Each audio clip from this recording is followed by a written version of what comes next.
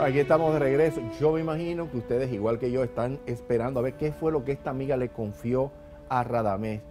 La verdad es que a veces Dios pues usa a estas personas como instrumento para, para acercarnos, porque Él tiene un proyecto de vida para nosotros, ¿no? Y de alguna manera nos, nos tiene que, juntar. Y, yo quisiera que pues Radamés comparta con nosotros ese, esa confesión que le hizo su amiga. Sí, ella nos confió que ella nos había presentado a ambos hacía 17 años antes. ¿De verdad? 17 años antes, en un momento en que yo estaba en mi primer divorcio. O sea, en esa transacción del divorcio. Y ella me dice que nos presentó en un sitio de comida, que ella estaba con su mamá, estaba con Annie, y me, nos presentaron y eso, y yo la miré, ella me miró, y nada, nada pasó.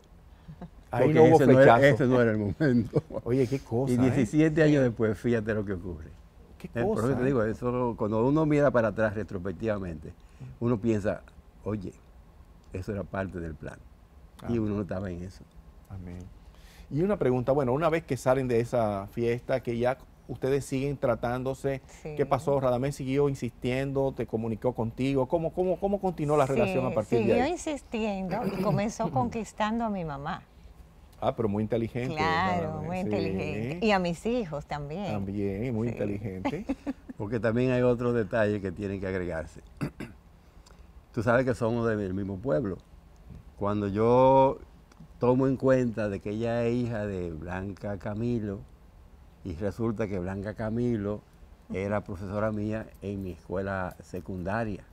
O sea que ya yo reconstruyo el evento. Recuerdo que eh, la conocía al papá de Annie, a la mamá de Annie, pero era muy pequeño, yo a ella y su hermano no lo conocía, eh, yo le llevo 10 años. Y así entonces pues eh, se, acerca un, hay un acercamiento ya con la familia, buscando y buscando, encuentro una foto de mamá y de la mamá de Annie juntas en una farmacia que era propietaria de papá, mi papá era farmacéutico y ya comienza entonces como un romanticismo familiar a renacer y a fortalecer ya o sea, yo me imagino que tú agarraste la foto esa y arrancaste pan de Oh, pero inmediatamente. Inmediatamente, oh, ¿verdad? Pues, de calle, y no, solamente, no es así, ¿no? Y sacarle fotografía. El día del cumpleaños. Oye, qué interesante, pero también muy inteligente de tu parte. Sí, no, no, no, porque ya, ya el flechazo estaba dado. Sí, ya estaba la marca. El asunto es de seguir adelante y ustedes comenzaron, ¿quién dio el primer paso de decir, mira, yo quisiera tener una relación más seria contigo? Eh, ante todo esto, ¿cómo se mostraba Ani receptiva a todas estas, estas cosas que tú buscabas la manera de acercarte? ¿Era así? ¿Te, sentías tú receptiva a esto? ¿Te era indiferente o, o, ya empezaba a ver las cosas de una manera diferente? De una manera diferente, sí. ¿Te parecía interesante ya? Pero eso no se formalizó así, porque yo eh, la insistencia y la, persistencia fue tan así, tan, tan violenta y tan rápida que ella no tuvo tiempo prácticamente para... Para pensarlo mucho. No, no, cuando yo estaba aquí, estaba envuelta en esto, estaba envuelta en lo otro, yo fui haciendo los planes, yo incluso hasta mis hijos los incorporé para que me ayudaran a hacer. Por ejemplo, yo hubo una vez que alejado y en mi modo de vida no muy, muy así, eh, de conocedor de las, de las cosas del ambiente, decía, ¿dónde yo la puedo llevar a cenar? ¿Dónde la puedo llevar los hijos que te asesoraban. Entonces ella, ella era la que me daba los consejos y me ubicaba los sitios. Ok, qué O sea que fue un equipo de gente que se dedicó a, fortalecer. A que esto fuera posible. Y una pregunta, ¿qué tiempo, eh, ¿en qué tiempo ya entonces ustedes decidieron formalizar su, comenzaron a salir y todo esto? Y comenzaron esa relación de pareja, ¿no? Así ¿Y qué tiempo duró eso antes de pensar en formalizar algo ya más serio? ¿Cuánto duró ese noviazgo de ustedes? Duró aproximadamente unos siete años. Ah, pero fue largo eso. Sí, sí fue largo porque existía... Ahí viene, ahí viene lo que tú me contabas fuera del programa de que eh, eh, había una situación con, contigo, ¿verdad? Con el matrimonio tuyo, ¿no? Sí, exacto. También eso, además eh, de que también yo tenía mis hijos, yo quería que las cosas no fueran a lastimar mi relación con mis hijos, ni que ellos vieran en Radamés esa persona que estaba entrando a, llevarse a mi mamá o a quitarme a mi mamá, cuando eh, tantos años nosotros estábamos solos nosotros. Entonces, Qué interesante, Ani, lo que tú acabas de tocar es muy importante. O sea, este noviazgo fue largo por una razón especial. Sí. Ustedes tenían hijos de otras relaciones. Ah, sí. Y ustedes quisieron armonizar esto primero, porque se hace normalmente al revés. Nos casamos y luego en medio del matrimonio queremos armonizar el asunto con los hijos, pero ustedes lo hicieron al principio. Qué inteligente, qué sabiduría, porque así debería ser. Ustedes establecieron las relaciones con sus hijos y fueron tratando de que ellos aceptaran esta, esta nueva realidad de la vida de ustedes de una manera armoniosa, eh, sana, sin heridas, sin traumas. ¿Y lo lograron ustedes eso en esos siete años? Lo logramos, de verdad que sí. Pero no fue fácil. No. No fue fácil. Pero hubiera sido más difícil en el matrimonio. Ah, claro. claro, claro, claro, muy, muy difícil hubiera sido, porque a pesar de que fue un tiempo largo, fue de mucho eh, razonamiento, de muchas conversaciones, a veces de muchas fricciones, incluso eh, trayendo dificultades ya a la relación conyugal.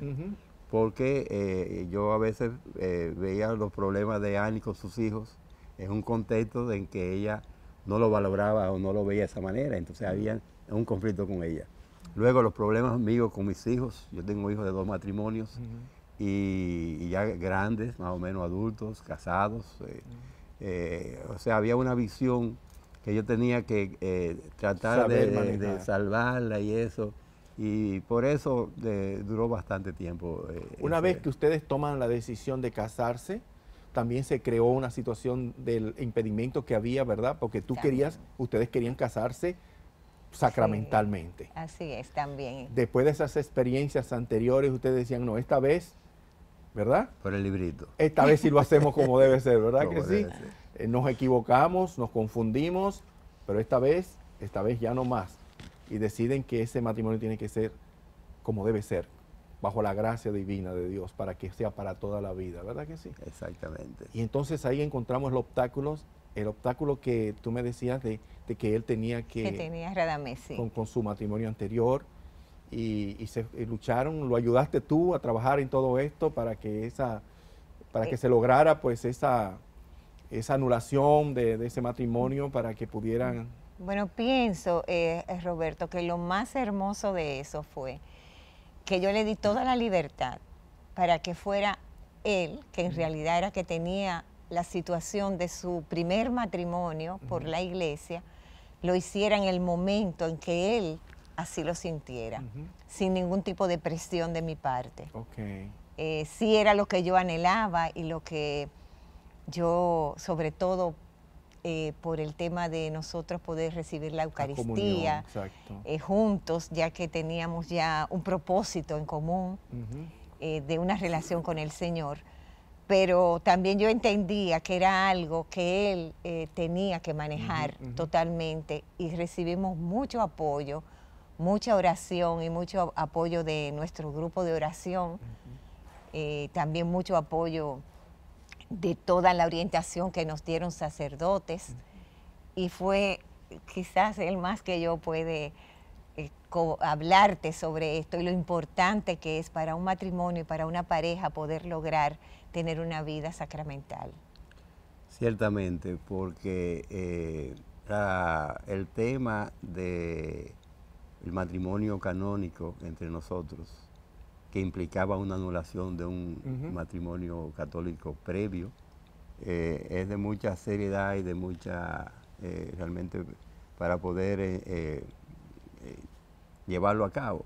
Porque este proceso también coincide con mi conversión, vamos a llamarlo de esa manera.